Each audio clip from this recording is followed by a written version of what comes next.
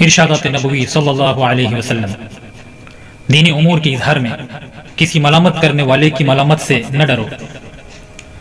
मोमिन न तो तान करने वाला होता है, न लानत करने वाला और न फहश बकने वाला जबान दराज।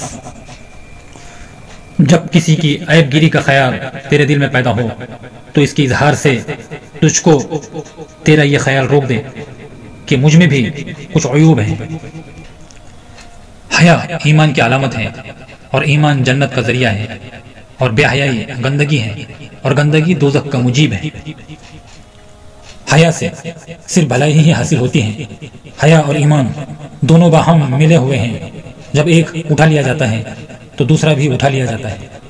अय अल्लाह, मुझे मिस्कीनी की हालत में ज़िंदा रख और मिस्कीनी की हालत में दुनिया से उठा और मिस्कीनों के गिरोह में मेरा हशर फरमा।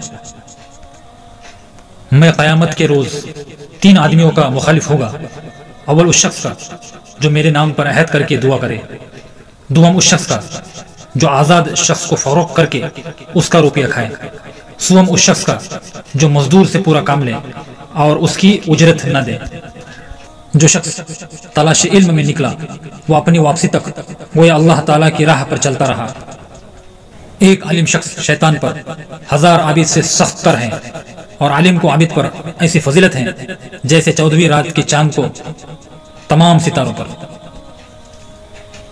आलिम वारिसल अंबिया हैं, और अंबिया की मीरास न दुनिया थी, न दिरहम, बल्कि उनकी मीरास इल्म था बस जिसने वो हासिल किया, उसने बहुत हासिल किया। आलिम की फजीलत आबिद पर वैसी है, जैसे मेरी फजीलत उम्मत पर। सबसे बड़ी खयानत यह है कि तुम अपने भाई से झूठी बात इस तरीके से बयान करो कि वो उसको सच समझे।